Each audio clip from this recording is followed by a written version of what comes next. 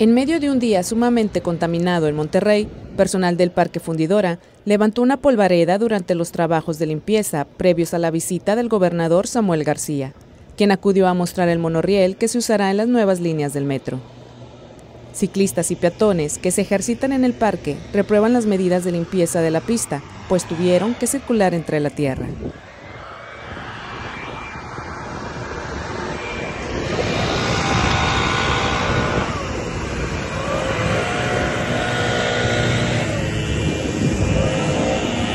Thank you.